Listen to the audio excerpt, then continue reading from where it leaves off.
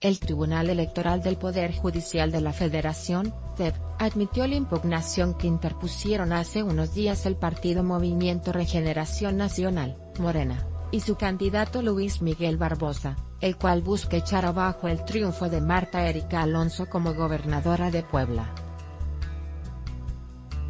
Con esto a partir de hoy corren 55 días para que la Sala Superior resuelva en definitiva si confirma o declara la nulidad de la elección, en la cual la diferencia entre el primero y el segundo lugar es de apenas 122.036 votos, es decir, el 4.04% de la votación emitida.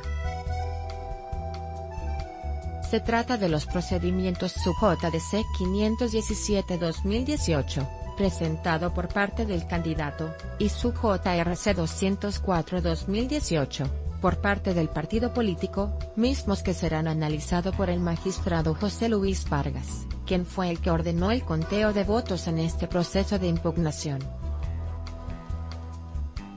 local presentan Barbosa impugnación de la elección a gobernador después del conteo de votos el pasado 10 de octubre, el Tribunal Electoral del Estado de Puebla, TEP, ratificó el resultado de la elección a favor de Alonso Hidalgo.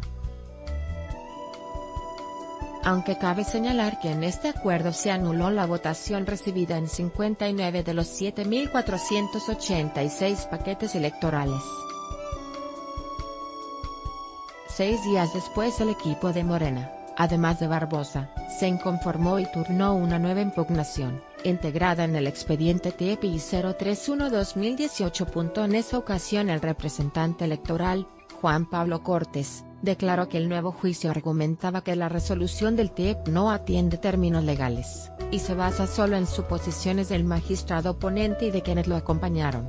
Fuera magistrados con conflicto de interés en entrevistas sobre el tema. El coordinador de la bancada de Morena en el Congreso local, Gabriel Biestro Medinilla, hizo un llamado a los magistrados que tienen conflicto de interés para que queden fuera del procedimiento. Local entrevistará titular de línea a cuatro aspirantes al día y nosotros estamos planteando que se disculpen los magistrados que tienen conflicto de interés, porque hay quienes tienen rango de familiaridad y parentesco eso no abona la certeza del resultado de la elección, declaró. No obstante, externó que existe mayor confianza con las autoridades electorales nacionales, pues dan más garantía del proceso.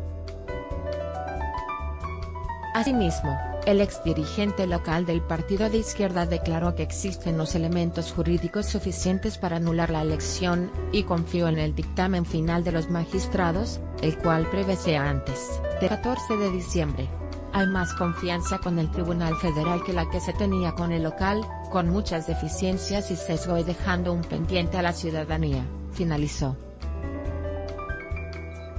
México va Auditoría Superior de la Federación contra Empresas Fantasma.